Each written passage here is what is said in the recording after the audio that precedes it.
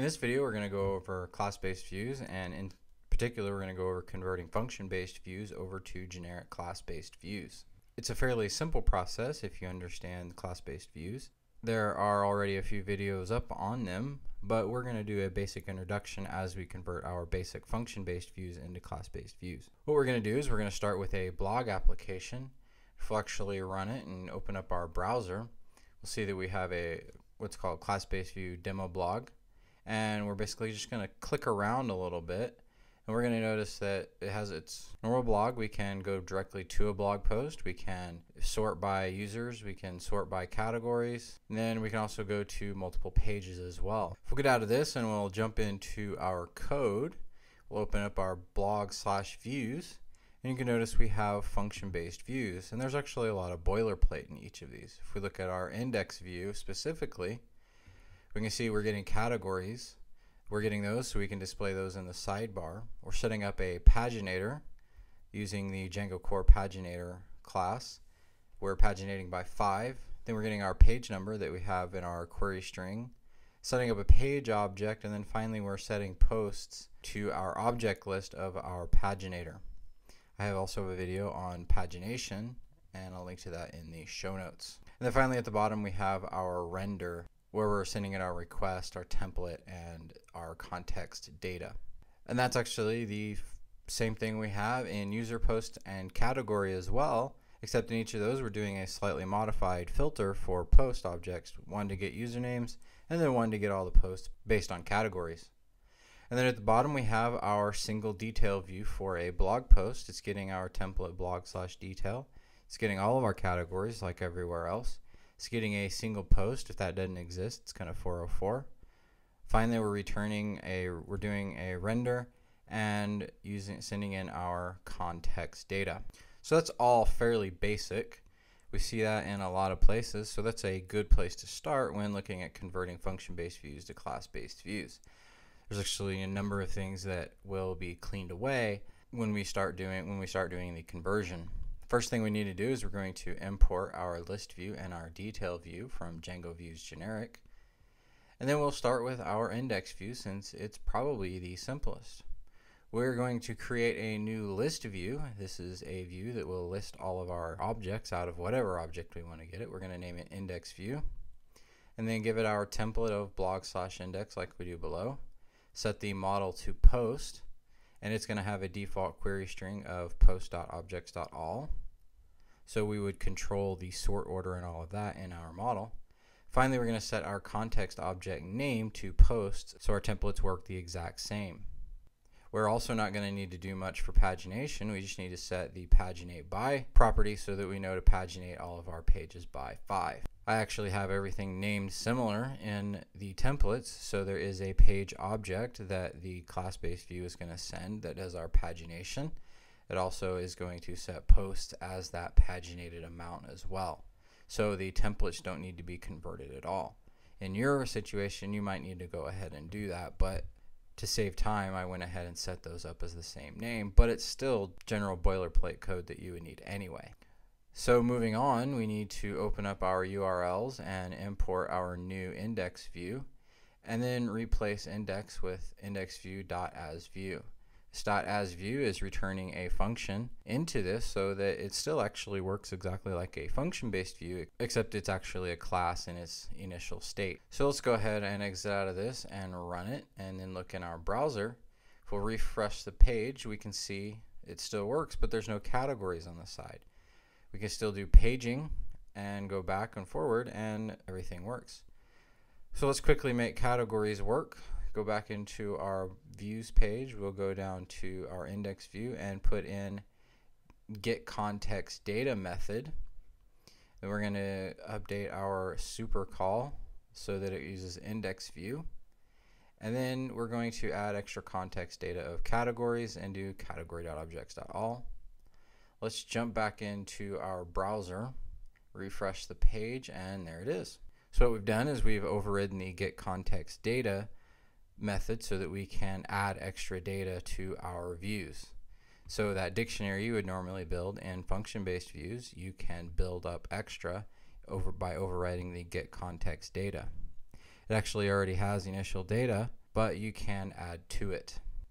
So let's go ahead and delete the function-based view since we don't need it anymore.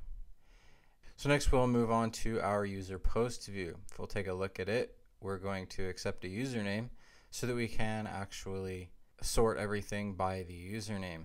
It gets the username from our URLs. We're going to handle that in our class-based view. This view is also going to be a list view and it's going to be almost an exact duplicate of index view. So we'll just go ahead and copy paste and I'll tweak it. So now we have our user posts view. All the properties are the exact same and I modified the get context super call to be just right. So now we're going to set get query set. Now we're going to override the method get query set so that we can modify our query set to return exactly what we want. The general best practices is to do QS for query set, call the super first, so you get your base query set, which in this case would be a post.objects.all. On the next line, we're going to get the user object so that we can actually filter it out. So we're going to do a get object or 404. You're going to use the user object, and then we're going to do username equals. We're going to do self.kwargs.get username. What this is doing is set self.kwargs in the dispatch to be set to whatever is passed in with the URL. So that username in URL is passed in and set in self.kwargs, so we just need to yank it out and use it. Now that we have our user object, we can proceed with our query set. We're going to just return a new query set, except we're going to filter and get all of the results where the author is equal to the user that we just got. So with that in mind, we're going to just go ahead and delete our user post function based view. We need to add user post view to our URLs, converting user post to our class based view of it. And then let's go ahead and run it and then jump in our browser and take a look. Go ahead and click on our user. It filters by that go back and click on our other user and it filters by that one as well. So now our user post is working the same. So jumping back in code, we have one more list view to convert. Since it too is fairly similar to the user posts, I'm to go ahead and do the whole thing and then just explain it to you there. And the only thing we modify in this case is the get query set. Here we're going to do the super call to get our base query set. Then we're going to get our category uh, from our slug. Again, slug is in our URL. So now that we have our category, we're just going to do a filter on our query set to only return posts that have categories equal to the category in our URL.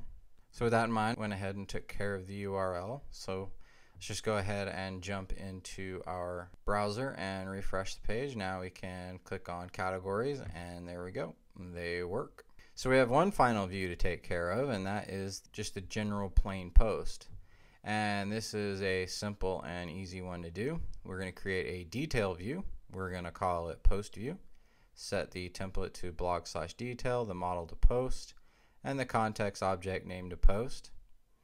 Go ahead and delete the rest, and that's it for our post view. What's going to happen is it's going to take the slug that we're passing into our URL and it's going to find the correct post in our model based on that slug. The class-based view by default checks for the primary key if that is one of the query arguments in the URL or the slug if that's one of the query arguments in the URL and finds the appropriate record for it and returns it.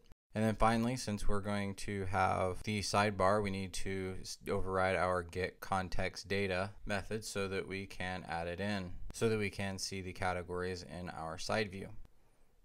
And with that, we'll jump over to our URLs. We have one final one to take care of. That's the post view. We'll remove it and add post view in there. And then we're going to also delete our blog.views since we're no longer using function-based views it kind of doesn't serve any purpose, so I like to go ahead and remove it. So now let's run the server and jump into the browser and click around. Everything seems to work just fine like we expect. There's paging, there's categories, there's users. So the last thing to really look at is the fact that our views page is really long and by overriding get context data in every single view, it really kind of defeats the benefit that we would see from doing class-based views of slimming up the code. If we override the same thing and add the same code in every single one, then what's the point in class-based views? In this instance, we're going to go ahead and create a mixin and we're going to use inheritance to slim up our code. Go and create a category mixin and then we're going to add get context data like we have below. It's the exact same code. There's really no difference to it at all. To use a mixin, we're just going to add it as the first thing we inherit from in our index view and in all of the rest. To kind of get an idea of how awesome that these are, I'm going to go ahead and add the inheritance to each class-based view that we're using, and I'm going to remove get context data all at one time. And as you can see, it has slimmed up quite a bit. It has taken what all four of those views were on past the entire page of the video and slimmed it to where we can fit it all on one section of the area. And if you look at our index view at the top, all it is is a class-based view with properties set, so you know exactly what's going on with it really fast. And you have your post view at the very bottom, and you know what's going on with it really quickly. And it makes testing a whole lot easier if you're going to write unit tests because you don't have a whole bunch of branches that you have to test in your view. You know exactly what's going to happen with post view since it's a detail view you know that it's going to get a single object back and it's going to return it. It's going to use the right template name. And you know for that piece of data, post is going to be the value that you use in your template. So this is really, I think, where the power of class-based views comes in is in adding mixins for common functionality that you use all over the place that you would repeat or do a bunch of method calls and just do a series of method calls or you would string a whole bunch of functions together that string a bunch of method calls together or you would have all kinds of other hackery going on that I have seen in some projects. This, I think, really slims it down and makes it a little more understandable of what's going on once you understand class-based views. And really, once you start to get to use them, they make a lot of sense.